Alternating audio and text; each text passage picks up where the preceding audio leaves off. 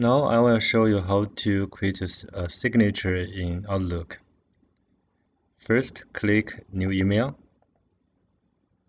and go to Signature, drop down Signature, create, click New.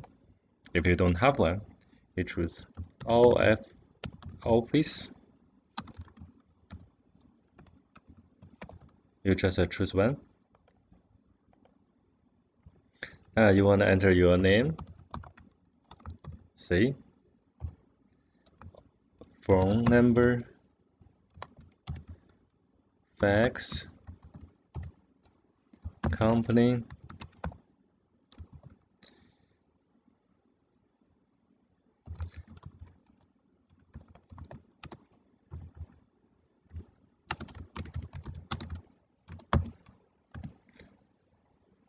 Okay, this is your signature.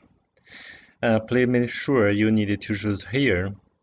Uh, this is default signature. If you like a new message default signature as this one or not.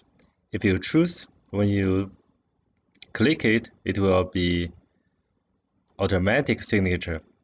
First, I choose none and OK. Let's close the email. New email you see there's nothing here. If we go to signature choose signatures. If I choose this office signature and office signature I choose OK. I close this email create a new one. The signature is uh, default here. Uh, at the same time we can create a new signature new personal signature. Okay. Personal signature I would like to be really simple. And I create a one. Thanks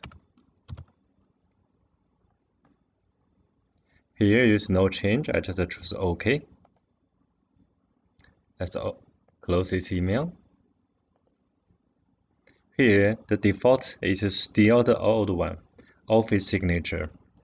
Can I choose the personal signature? Okay, you can choose it. I want to make some change. Here's some choice here. For the personal signature, I can add a picture here of course, you can change the font here. And I want to add a picture to my signature.